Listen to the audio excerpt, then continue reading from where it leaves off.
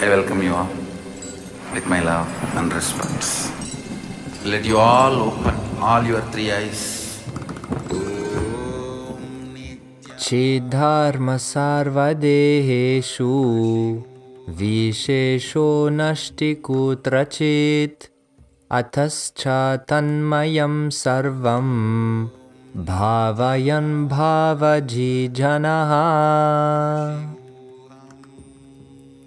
As per the natural flow of consciousness, Chit Dharma, in all the bodies, the consciousness is undifferentiated. There exists no differentiation or specificity in nature, quality, or attributes in the consciousness. In this way, when one places his awareness and is absorbed in the consciousness existing in all the beings, he wins the dualistic worldly existence and realizes the non dual oneness in all beings. This sutra gives the experience of non duality or oneness with all beings. Sadashiva begins this sutra with a beautiful word, Chiddharma, revealing the sacred secret of the cosmic law that governs the power manifestation.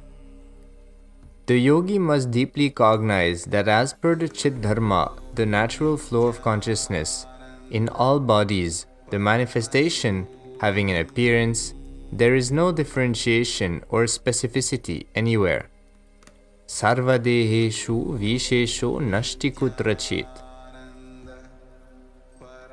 Understand, to identify anything as specific or separate, or vishesha, one needs to see it exists with a differentiated nature, quality, attributes, form, or shape.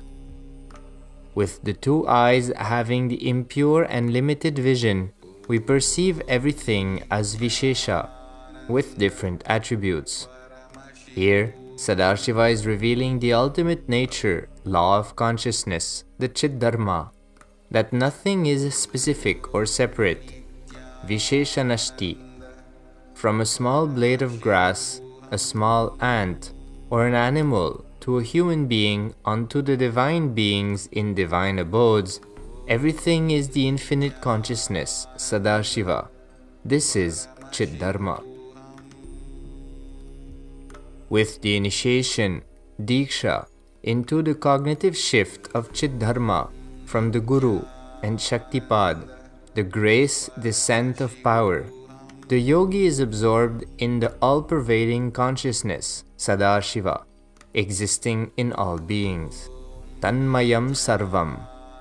Thus, the yogi wins over the incomplete cognition of duality or plurality of seeing the differences. In other words, his cosmic vision reveals to him the pure non-dual experience, Shuddhadvaita, by which he realizes the oneness in all bodies. Thus, the Nithyananda yogi experiences his self in all the bodies and manifests the power of body scanning, knowing the inner happenings in any body, anywhere.